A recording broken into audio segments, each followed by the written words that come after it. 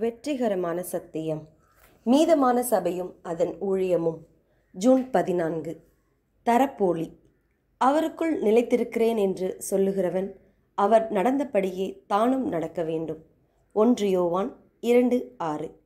சில பூச்சிகள் ஏதாவது ஒன்றைப் போல தங்களை தோன்ற செய்து உயிர் பிழைக்கின்றன. இலைப்பூச்சிகள் பார்ப்பதற்கு இலைகள் போல இருக்கும். அட்லஸ் அந்து பூச்சிகள் ஆபத்தான சில உயிரினங்களைப் போல தங்களை காட்டிக்கொள்ளும். இந்த வடிவமைப்புகள் வேட்டையாட வருகிற மிருகங்களை பயமுறுத்த உதவுகின்றன. கடைசி நாட்களில் வாழும் தேவ பிள்ளைகளுக்கு இது பிழைப்பு உத்தி அல்ல.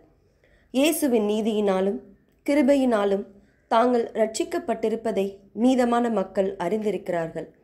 அதிகபட்ச நன்மையை அனுபவிப்பதற்கே தேவனுடைய கற்பனை கொடுக்கப்பட்டிருக்கிறது என்பதை அறிந்திருக்கிறார்கள். தம்முடைய கற்பனைகளை கைக்கொள்ளுவதை தம்முடைய அன்பில் நிலைத்திருப்பதற்கு சமம் என இயேசு சொன்னார். நான் என் பிதாவின் கற்பனைகளை கைக்கொண்டு அவருடைய அன்பிலே நிலைத்திருக்கிறது போல நீங்களும் என் கற்பனைகளை கைக்கொண்டிருந்தால் என்னுடைய அன்பிலே நிலைத்திருப்பீர்கள். யோவான் பதினைந்து பத்து. இதுதான் உண்மையிலேயே ஜீவனை பெற்றிருப்பதன் பொருளாகும். நாம் கற்பனைகளை கைக்கொள்வது நம் விசுவாசத்தின் ஆதாரம் என்பது உண்மையாக இருந்தாலும் தேவனுடைய வல்லமையால் மட்டுமே கற்பனைகளை கைக்கொள்ள முடியும் என்பதும் உண்மை. அப்போஸ்தலனாகிய பவுல் இந்த முக்கிய பாடத்தை கற்றறிந்தார்.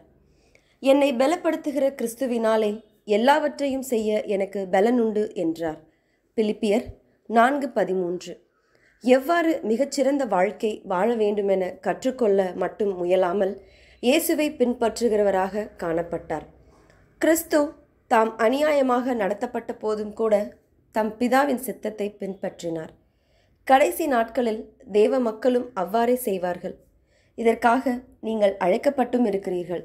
ஏனெனில் கிறிஸ்துவும் உங்களுக்காக பாடுபட்டு நீங்கள் தம்முடைய அடிச்சுவடுகளை தொடர்ந்து வரும்படி உங்களுக்கு மாதிரியை பின்வைத்து போனார்.